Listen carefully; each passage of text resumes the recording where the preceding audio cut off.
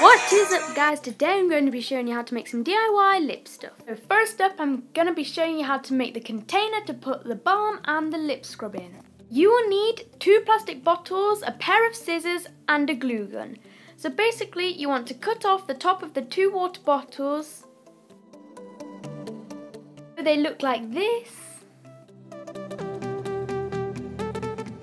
And then from the water bottle, you want to cut a circular shape or ish, it doesn't have to be perfect, that will kind of cover the bottom of the container. Like so. Take your glue gun and glue all the way around the inside of the little pot.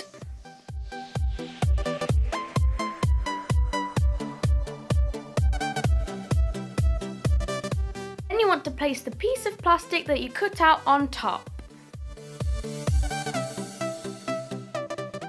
Any imperfections you can cut off with scissors.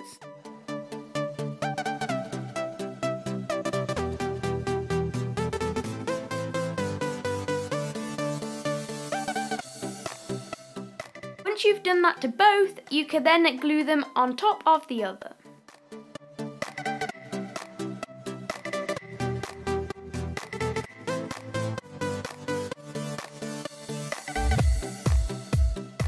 Course, if you didn't want to make a whole container, you can just use an empty container that you find around. Okay then, to make the lip scrub you will need granulated sugar, vanilla essence, coconut oil, the Tupperware container and a container to mix it in. I want to start by taking two spoonfuls of the coconut oil and putting that in the container.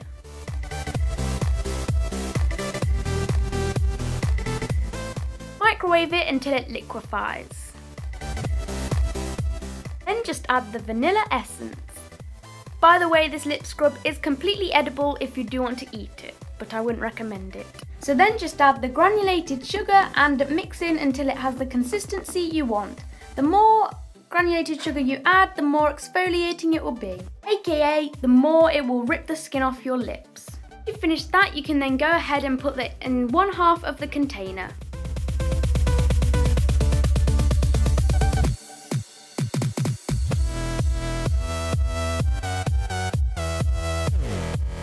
Actually made so much that I had enough to put in my other spare container as well.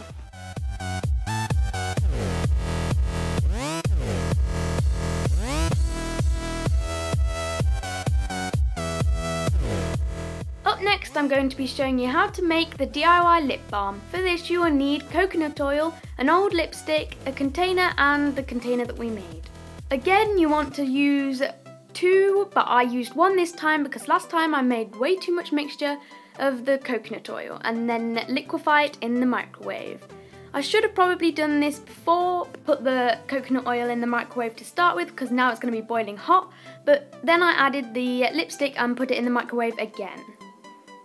You can just go ahead and pour it into the other side of your container. I would recommend putting in a tissue underneath because I made a complete and utter mess.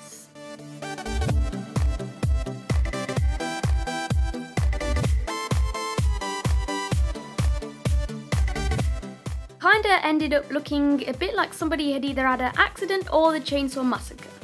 Yeah, that's how you do that. Thank you so much for watching, and no, I haven't uploaded a Q&A yet because we are not at 100 subscribers and I'm still waiting for those 10 people to subscribe, so subscribe!